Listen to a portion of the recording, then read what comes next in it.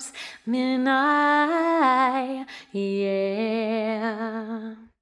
One happy birthday dot com.